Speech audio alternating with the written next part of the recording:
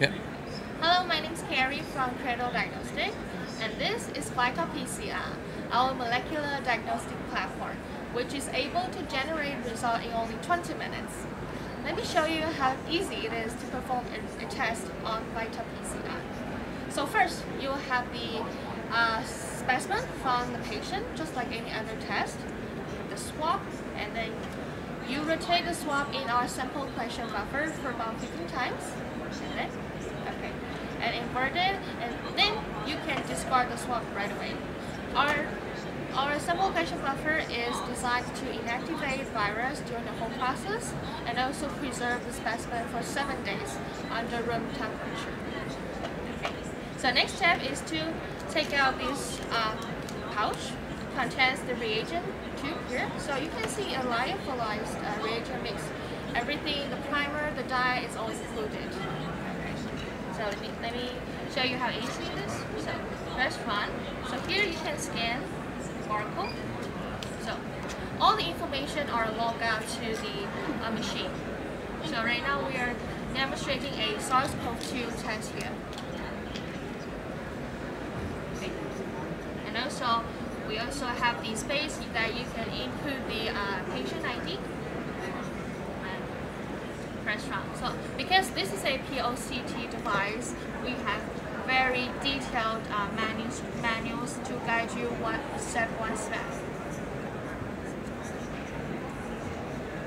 Okay.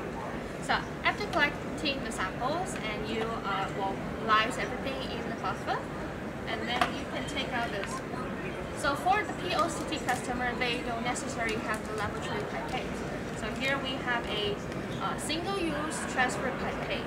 So it's really easy to use by simply squeezing and releasing. So you can see there are two balls. The first one is to take out the liquid.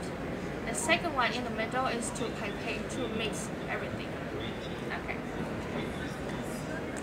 So let's open the reagent tube first. Okay. So this transfer pipette is designed to take out only 30 microliter, which is the volume that is needed, required for the test.